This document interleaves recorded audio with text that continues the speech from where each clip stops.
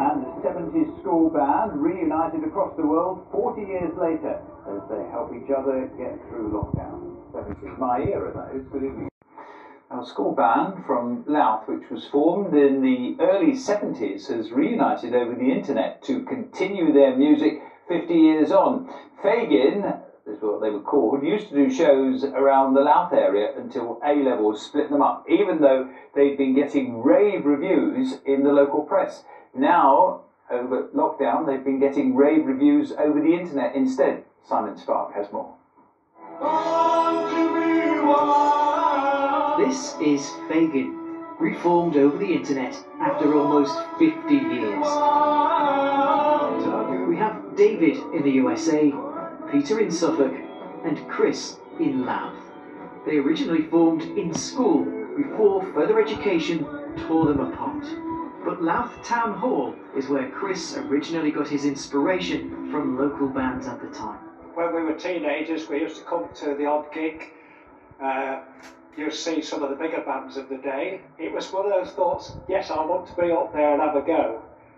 Can I learn that too? What's he playing? Where's his fingers going? God, you look so young, but then I guess so did I. Even at school, they were playing well enough to be noticed by ex Louth leader and BBC Radio Humberside journalist Mike Cartwright. Fagin, one of the best young groups to come out of Louth, are in a nasty predicament.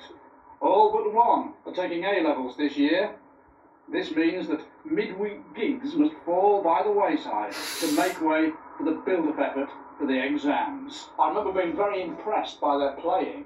Um, they were a bit different to the usual young covers bands of that time. They, they were choosing the kind of bands that I used to like to listen to. People like Jethro Tull, uh, people like Cream, these sort of bands, uh, and they put their own little bit of an edge to it. And they're still doing that now, of course, now that they've reformed. And I, I, I, um, I just thought, yeah, they caught my ear. These articles really were a shot in the arm. It, it really brought us to the fore in little old Louth uh, that we were available.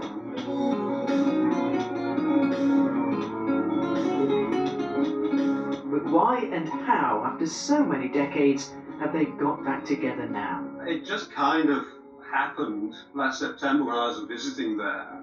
Uh, that I saw Chris and then I went down to see Peter and Peter snagged the secret video of us playing. So I said, right, let's let's do it properly.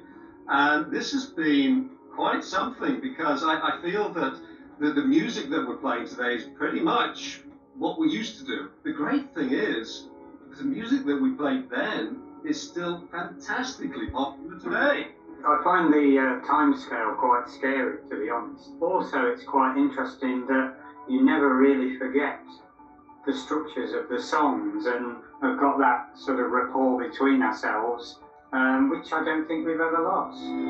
They still have material to be finalised and performed, but you'll just have to keep watching them to see and hear what comes next. Simon Spark, BBC Look North, Louth. Brilliant. Nice sort of music, they make a good sound. That's uh, Fagin. Now let's have a reminder of the headlines. That coming in.